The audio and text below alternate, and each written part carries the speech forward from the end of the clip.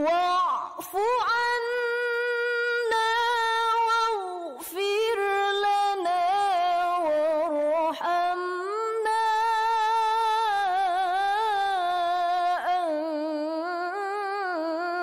أنت مولانا Bapak-bapak, ibu-ibu yang saya hormati, tapi ngaji itu tetap tidak boleh libur. Ya, seberapapun banyaknya, ya itu harus tetap mengaji. Di rumah saya itu dua orang yang ngaji, hujan yang ngaji, banjir yang ngaji, bocor yang ngaji, itu.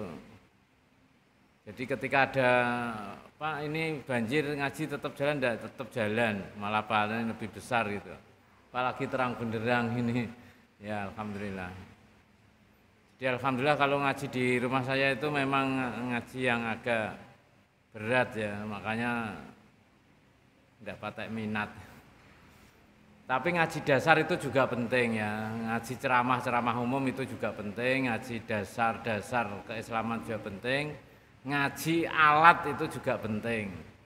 Ya, ngaji sangat dasar itu juga penting. Karena kita itu memang harus selalu ya mengupdate ilmu pengetahuan. Sepintar apa pun sudah kelas ulama itu aja masih mengaji. Ya, pengakuan para ulama itu justru setiap saya membaca Al-Qur'an selalu mendapatkan inspirasi gitu kita ini ya harus ya diusahakan untuk selalu membaca Al-Qur'an, pemahamannya, ya makna-maknanya, pengalaman-pengalaman itu harus selalu diupdate. Banyak cara untuk memperoleh tambahan keimanan ya. Itu dengan cara membaca Al-Qur'an, dengan mengikuti pengajian seperti ini, dengan apa membaca buku-buku pengetahuan tambahan dan lain sebagainya. Umat Islam kok tidak maju itu pasti ada yang salah. Pasti ada kekeliruan. Pasti ada hal yang tidak beres.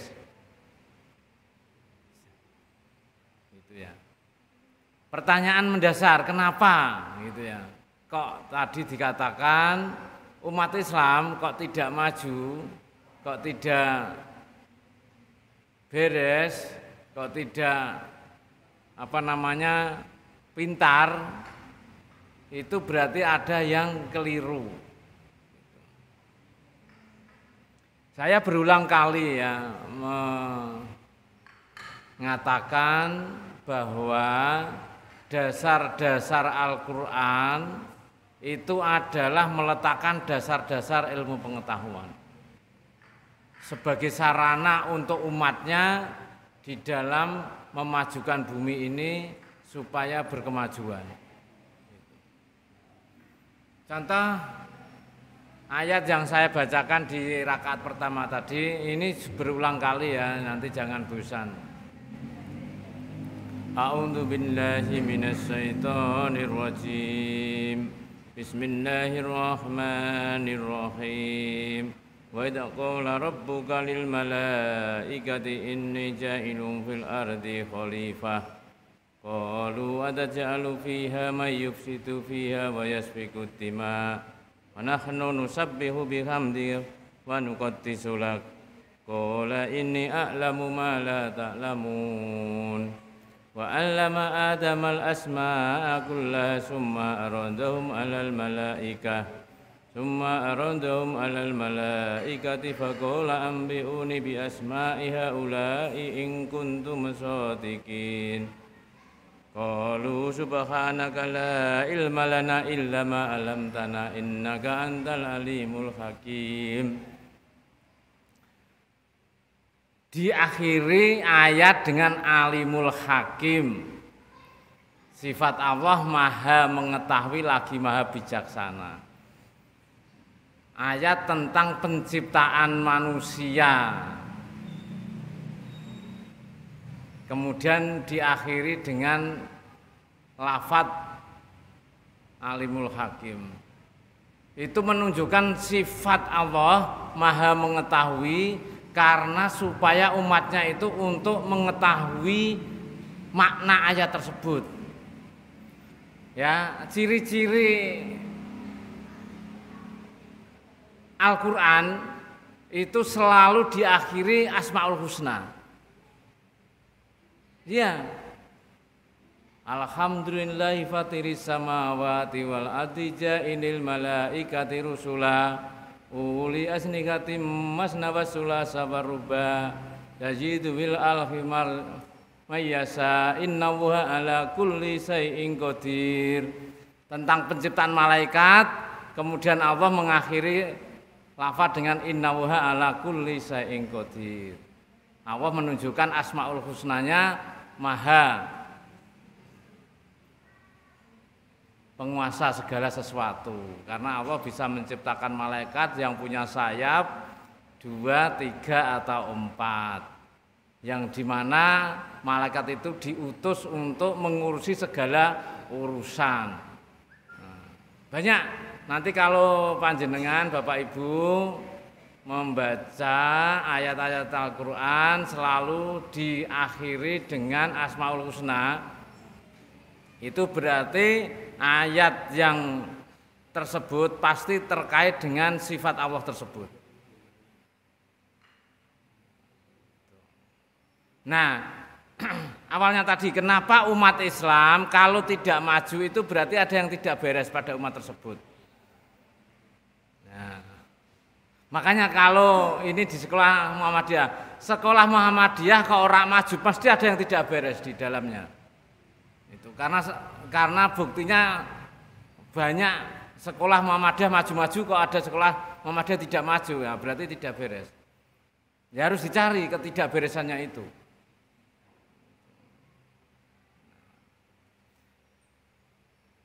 Allah menanamkan di dalam penciptaan manusia itu ilmu pengetahuan. Allah di situ bertaruh loh. Bukan bertaruh dalam berjudi ya. Karena diprotes oleh para malaikat. Ini jailung fil ardi khalifah. Sesungguhnya akan aku jadikan di atas bumi khalifah dan khalifahnya itu sudah ditunjukkan kepada malaikat, yaitu Adam.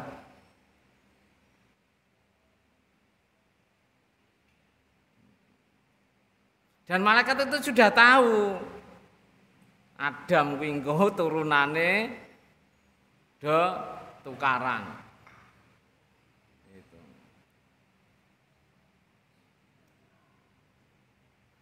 Tukarannya sampai menumpahkan darah kan berperang kan.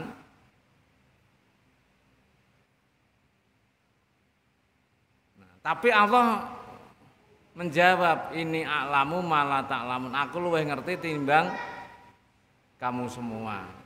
Nah, untuk membuktikan secara sunatullah ya Allah itu meskipun dengan sifat kun fayakun mengatakan jadilah kemudian jadi tapi dengan proses sunatullah.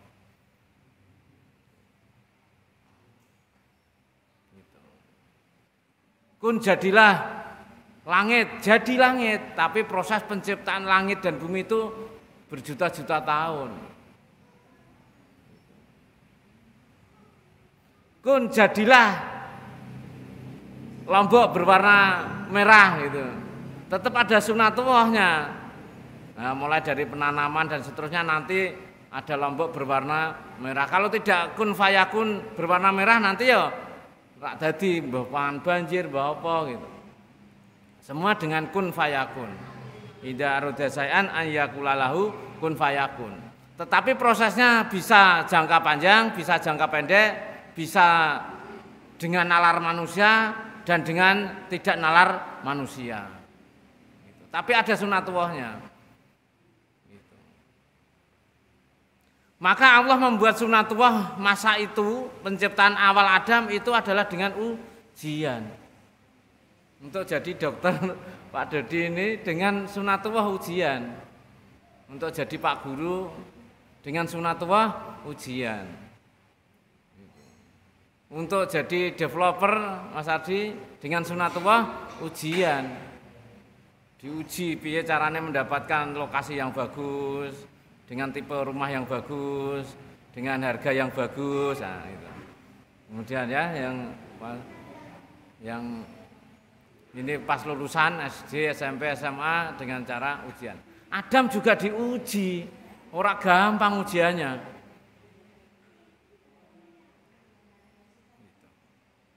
Diuji. Wa allama adamal asma'akullaha. Berat loh itu. Wa asma'akullaha itu. Semua nama-nama benda di alam ini.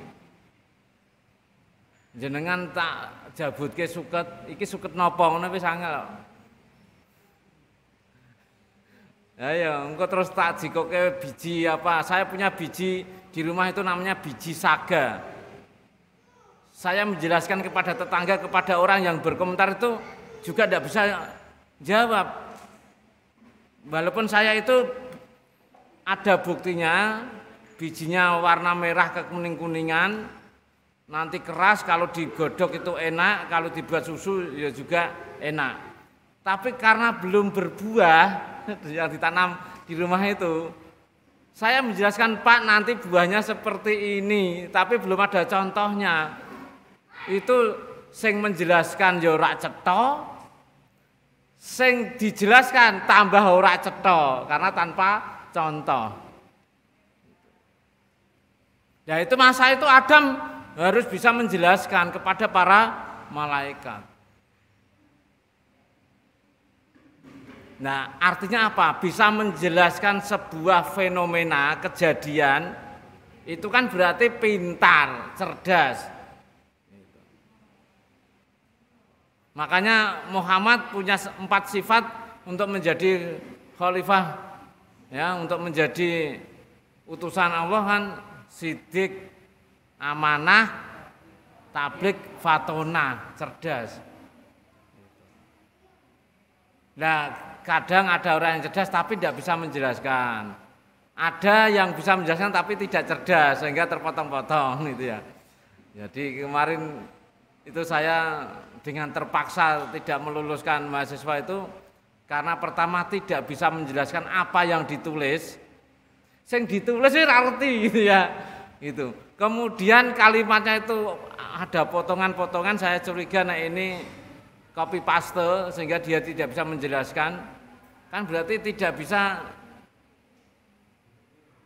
menjelaskan fenomena yang diteliti tadi. Gitu. Maka di situlah umat Islam kok bodoh, kan berarti tidak mendasarkan dalam Al-Quran ini. Tapi bodoh bukan berarti nilai rapotnya jelek, bukan itu yang dimaksud ya. Tapi tidak bisa menjelaskan apa yang pernah dilihatnya. Ini teh. Gitu. Ya itunya itu. Nah, sehingga para malaikat baru menyadari oh iya ya, memang pantasnya adalah manusia. Dari dulu sampai sekarang kekhalifahan, kepemimpinan itu manusia. Jadi malaikat itu tidak ada. Sampai sekarang belum ada dunia ini dipimpin oleh para malaikat. Sak pinter-pintere malaikat, sak patuh-patuhe malaikat loh ya. Tidak ada. Bahkan dua malaikat bernama siapa? Inten? Bukan dua malaikat yang iri kepada manusia. Wah manusia kok penak ya di dunia itu. Sambil ingat-ingat namanya. Ini cerita tentang dua malaikat itu. Oh iya pas lali jenenge. Ada dua malaikat yang iri dengan kehidupan manusia. Manusia kan ada yang mabuk, ada yang maksiat, ada yang mak, apa surat taat lah ya, beda dengan ketaatan malaikat. Tapi kok masuk surga? Ini, ya. Akhirnya dua malaikat itu ya udahlah nak kamu iri cobalah kamu di dunia. Cemplungin dunia bareng sama kita. Cemplungin dunia pertama dia mabuk. Setelah mabuk berzina, setelah zina tukaran otet karuan. Akhirnya ya Gusti kula mboten saged urip ning dunia. Ya udah kamu. Nah itu. Kalau manusia itulah kelebihannya. Gitu. Jadi yes, saiki enak dadi malaikat apa enak manusia? Ya wis kadung dadi manusia ya enak manusia itu. Iya betul, coba bayangkan ya. Ini bayangkan saja. Malaikat peniup terompet. Menutup dunia nanti ya toh. Menutup sangkakala itu. Lah terus ngopo selama berjuta-juta tahun ini? Tapi ya dia taat, bertasbih, bertahmid itu. Terus sampai menunggu tugasnya nanti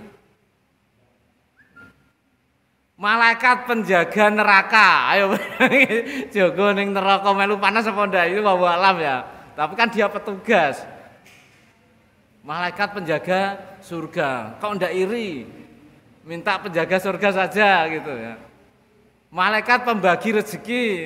Waduh, ana wong tak kei rezeki. Tapi aku dhewe gak oleh mangan itu. Nah, itu itulah kelebihan kita. Makanya dimuliakan sekali. Walaupun godaannya besar tapi dimuliakan, sangat amat dimuliakan. Bayangkan kalau minimalis ya, masa maca la ilaha bisa masuk surga. Penak toh? Iya. Walaupun kok dibakar neng neraka sampai entek dadi klenteng gitu. Larane apa. Tapi punya jaminan masuk surga bagi orang-orang yang beriman. Untuk nebus maksiatnya itu. Kecuali orang-orang yang mati dalam kafir dan mati dalam kemusyrikan. Kan itu kholilan abadan tidak mungkin masuk surga. Kalau kita masih punya bekal iman, ya mesti tetap dijamin masuk surga. Walaupun ada ayat, apakah kamu mengira akan masuk surga sebelum diketahui bahwa kamu jihad di jalan Allah. Berarti surga yang lebih tinggi lagi bagi sabilillah ya, bagi mujahidin, bagi yang mati syahid. Bapak-bapak, ibu-ibu yang saya hormati, manusia ya di surat yang saya baca di rekaat kedua lakot khalaqnal insana fi aksani taqwim summa rudatnahu asfala safilin jadi manusia memang diberi bekal lakot ada lam ada kot La itu artinya sungguh-sungguh, kot itu sungguh-sungguh. Berarti kan sangat amat sungguh-sungguh. Bahwa kami ciptakan manusia dalam sebaik-baiknya. Saya pertama kali mendapatkan ilmu budaya dasar semester 1. Itu kenapa manusia itu paling unggul di dunia. Kalau tadi kan paling unggul seluruh jagat raya melebihi malah hekat. Dan kenapa manusia itu paling unggul di antara makhluk hidup di dunia? Artinya kan ada binatang macam-macam ya. Itu cirinya itu ternyata bisa menyatukan jempol sama jari. Ini pelajaran pertama saya temukan di budaya dasar. Kenapa manusia berbudaya? Itu. Itu penelitiannya. Kenapa hewan itu kok tidak bisa seperti manusia? Itu ada yang berpendapat karena manusia berdiri tegak, binatang tidak. Tapi kuda dilatih bisa berdiri tegak. Gitu ya. Kemudian anjing dilatih bisa berdiri tegak. Anjing dilatih bisa mengejar maling, bisa mendeteksi narkoba, bisa mendeteksi penyelundupan apa. Bisa dilatih berlari, menari, ya lumba-lumba itu juga bisa menari macam-macam. Itu. Tapi tidak pernah bisa punya kebudayaan waktu itu pelajarannya gitu. Karena membantah bahwa manusia berdiri tegak, binatang tidak berdiri tegak. Tapi ini ada penelitian karena binatang tidak bisa membuat ini menyatukan jempol dan. Dan kita bisa. Dan ini bisa untuk menggenggam.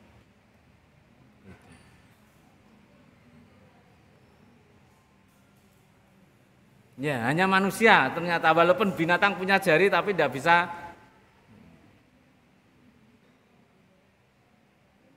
Nah, kerah itu Pak, begini ini. Kerah itu disuruh gini tidak bisa. Kalau nyekel gini bisa. Nah, itu itu hanya pendapat, tidak usah ditiru. Lah nanti yang jempolnya hilang berarti tidak bisa berbudaya gitu. Saya punya tempat, teman itu jempolnya tangan ya hilang, jempolnya kaki ya hilang gitu. Gara-gara tabrakan itu. Nah, tapi intinya adalah manusia itu bisa berbudaya, berbudidaya, yaitu bisa menciptakan sesuatu. Cipta, rasa, karsa. Cipta bisa menciptakan sesuatu, rasa bisa merasakan sesuatu, karya bisa membuat karya, ciptaan, dan karsa punya cita-cita. Ya, binatang merasakan bisa. Itu. Saya dulu punya kerbau itu kalau bisa saya keplak itu nangis. Nangis meneng sakit terus ngamuk gitu. Kasih makan tidak mau. Gitu. Tapi engkau terus dipijeti, dia apa gitu terus dia bersahabat itu. Artinya punya rasa meskipun gitu.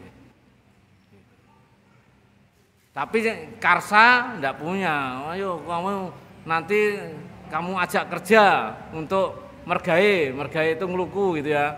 Besok tak jajakin bakso itu ya, terus semangat dah, enggak punya semangat. Besok tak buatkan kandang yang bagus, saya tetap diisingi itu kandangnya gitu ya, enggak punya. Gitu. Nah, itulah kita harus bersyukur manusia ini diciptakan dalam sebaik-baik bentuk, punya akal, punya rasa ya punya hati. Itu walaupun kerbu ya punya hati. Gitu. tapi ya putus cinta itu ya mungkin ya agak biasa itu ya. Walaupun punya rasa kalau rasa punya sedikit lah itu tapi punya bisa lupa bisa dipisahkan beberapa hari itu lupa nah kalau manusia enggak tapi untuk karya karsa cipta Anda bisa. Berarti kita punya keunggulan atas malaikat, juga punya keunggulan atas makhluk-makhluk yang lain. Tapi sumarudat nahu asfalasa filin. Nah, bagi yang bertentangan dengan itu maka memang berat kita. Nah, kecuali orang-orang yang beriman dan beramal soleh kan gitu. Nah, ayat itu kan hampir sama dengan wal asri innal insana lafi khusrin kan. Ilaladina amanu wa amilus solihati. Jadi kalau ayat ini ruginya diawalkan, sesungguhnya manusia dalam kerugian kecuali orang-orang yang beriman dan beramal saleh. Kalau tadi manusia diciptakan dalam sebaik-baiknya, kemudian dijatuhkan dalam serendah-rendahnya, kecuali orang-orang yang beriman dan amal soleh. Biasanya kalau membaca itu kalau nggak konsen ya awalnya wal asri tapi solihati falahu kan gitu. Nah, kan kata Mbak ya amanu wa amilu solihati wa tawasau bil haqi keliru falahum ajrun nah, itu. kalau enggak gitu ya bacanya wat ini tapi malah diakhiri dengan wa tawasau bil haq. Kadang sok begitu ya. Apalagi ayat yang malaikat itu kan banyak sekali. Itu juga sama wati wal ard itu juga banyak sekali nah, makanya memang kita harus di harus selalu murojaah, harus selalu mengulang-ulang bacaan gitu. Dan kadang ya sering hilang, apalagi hafalan saya hafalan-hafalan tua kadang sering hilang. Nanti dihafalkan lagi hilang lagi ya tapi yes, itu katanya para ustadz ya. Itu hikmahnya adalah supaya mengulang-ulang. Malah semakin hilang semakin baik. Karena semakin hilang semakin diulang-ulang gitu. Nah, nah bahwa dasar-dasar penciptaan manusia itu adalah manusia mampu menerima pembelajaran. Betul. Kalau jenengan mau perbandingan antar kitab suci, itu Al-Quran kitab suci yang paling banyak bicara tentang ilmu pengetahuan. Gitu.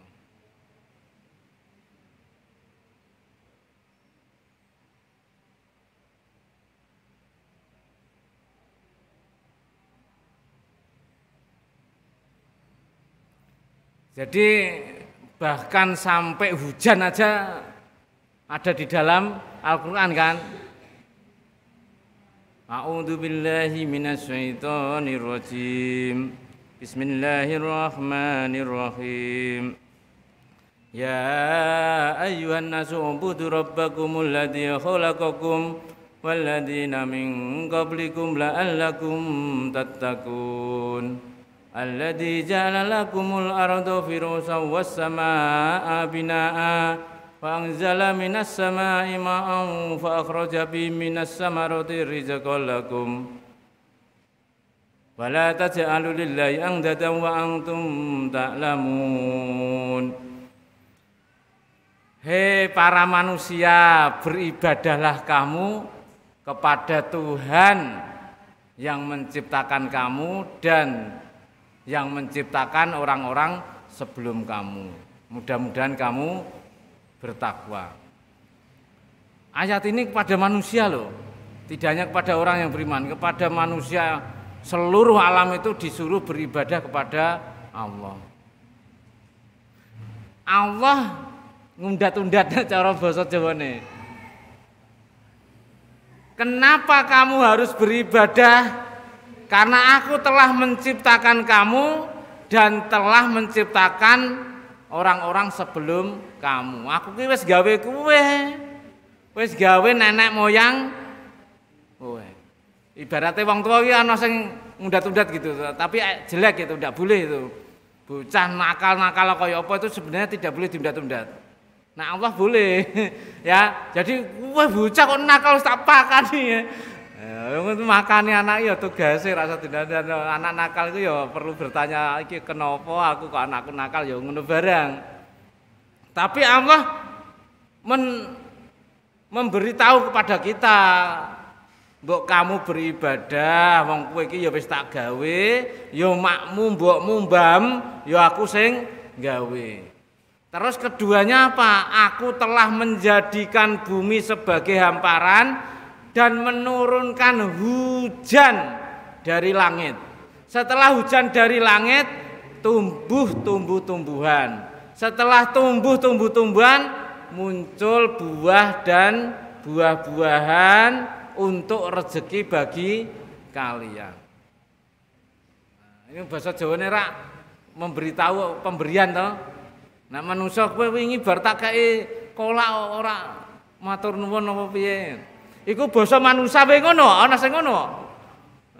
jenengan kok aweh kolak kira-kira ping papat Kan berarti mangkoke wis ping papat kok dibalekno kosongan iki.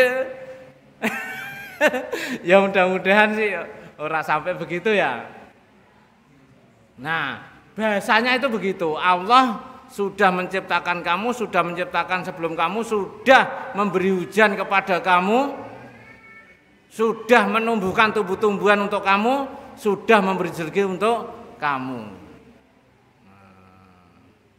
Maka janganlah kalian membuat kemusrikan, membuat andadan, pembanding. Andadan itu pembanding. Untuk disembah selain Allah itu namanya andadan. Wala taj'alu lillahi andada. Janganlah kalian membuat andada. Nah, itu. Kita memang dimuliakan oleh Allah. Sangat mulia di antara ciptaan Allah, malaikat. Kemudian setelah di dunia diciptakan mulia di antara makhluk-makhluk yang lain. Iya, kalau kita makanya saya katakan Al-Qur'an itu lebih banyak memberi pengetahuan pada kita, ilmu pengetahuan, teknologi. Jadi berjuta-juta tahun Allah menciptakan alam raya masih kosong gung liwang liwung berupa debu. Gitu. Kemudian debu menggumpal, menggumpal raksasa besar, kemudian terjadi ledakan besar. Namanya Big Bang itu ya, teori ledakan besar itu. Setelah terjadi ledakan besar terjadi planet-planet. Nah, salah satu di antara hasil ledakan itu berupa bumi. Bumi ya masih kosong, melompong. Ya. Makanya dalang itu kan kalau pertama kali e, menunjukkan apa awal kelir itu e, gung liwang liwung. Gung liwang liwung artinya kan kosong melompong, tidak ada makhluk sama sekali. Kelir di klebat kayak gitu. Itu lambang bumi itu. Namanya Herdi, Ardi, bumi. Jadi karena huruf Jawa itu kan tidak bisa bunyi A itu kan bisa, tapi kan H. Jadi ini Hardi. Jadi Ardi jadi Hardi. Nah, tapi dalam wayang disebutannya sebutannya kelir. Maka saya waktu kecil itu dipanggil kelir. Hei kelir. Pertama karena saya itu kalau nonton wayang di belakang dalang, dulanan kelir gitu. Tapi nama saya itu memang Hardi artinya kelir bumi. Kelir itu artinya bumi dibuka kemudian baru ada lakon jadi ketika bumi itu diciptakan masih gung liwang liwung langit kelap-kelap gitu kan kemudian tumbuh-tumbuhan setelah tumbuh-tumbuhan binatang-binatang setelah komplit makanan dan buah-buahan binatang baru manusia diciptakan diturunkan ke bumi wong awalnya kan di surga kan gitu Nah, ada sunatuahnya tetap. Ada sunatuahnya. Madam di dokok bumi isih kosong ya mesake to ya. Nah, ya kan itu hebat.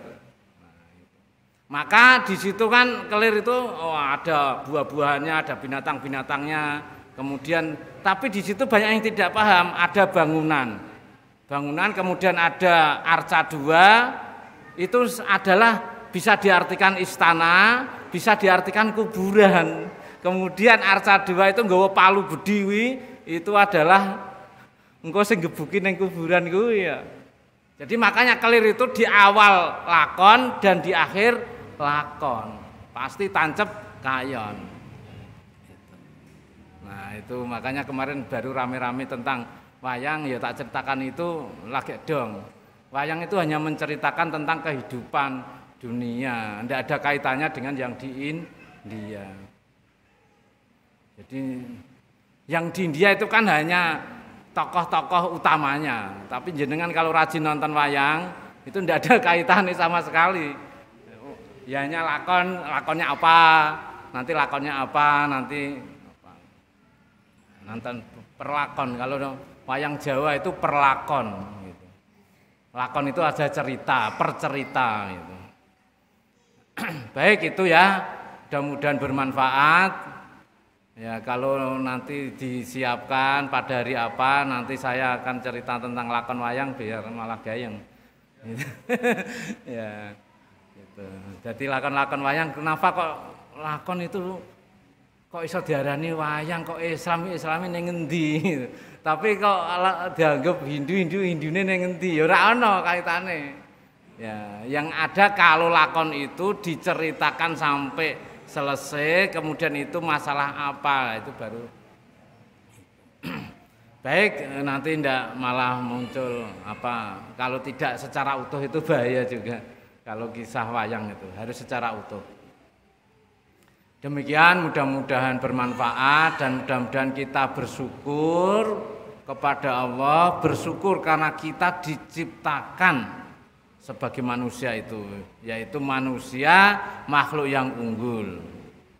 Ya kemudian kita diberi tanggung jawab untuk beribadah wa ma khalaqtul jinna wal insa illa liyabudu akhirnya kan di situ nah, tapi kan kita harus tahu keunggulan kita sehingga kita bersyukur itu benar-benar bersyukur tenanan gitu. Demikian nasrul minallah wa taqarib billahi taufiq wal hidayah. Assalamualaikum warahmatullahi wabarakatuh.